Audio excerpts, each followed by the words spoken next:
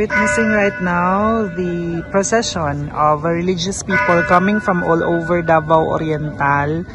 So they're bringing their parish banner, going to the venue for the musical later for the 500 years of Christianity here in the Philippines.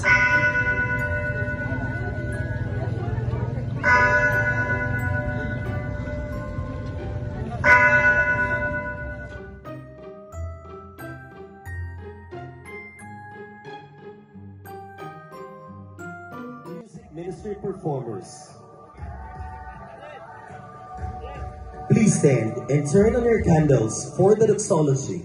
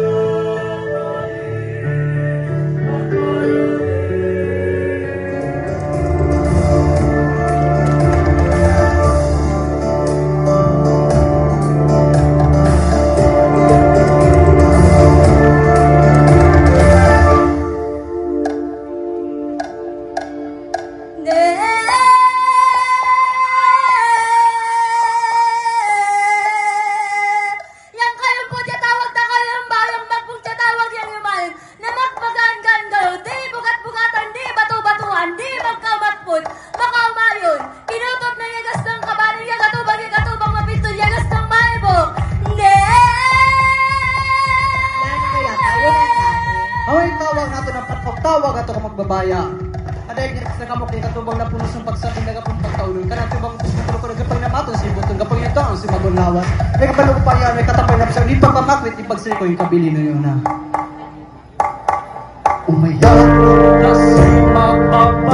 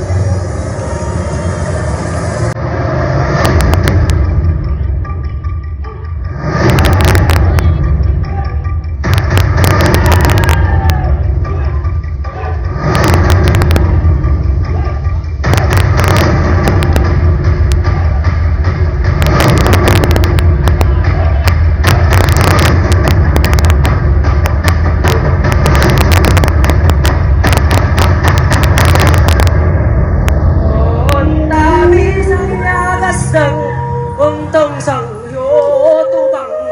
Na phi ai bay cô phân là bay nung xin phân hoa. Nung tao xin làm phát quay giả ban hoa năng nhà mi phân na đàn ta mi à mà sai căng mặt và ba ya na nhà bay mu tăng sam pagawanan agao pagdayin din lang dong pabot ng mumutaw na yagadaya kang magbabaya na yululan sang santo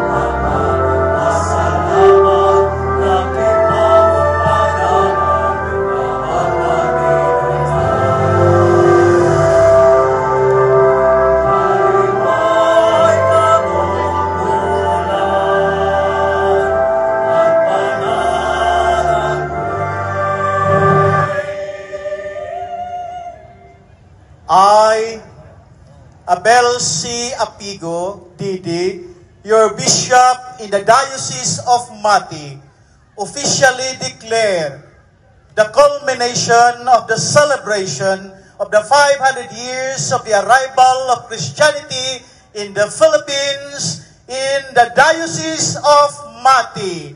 Mabuhay ang simbahang katoliko!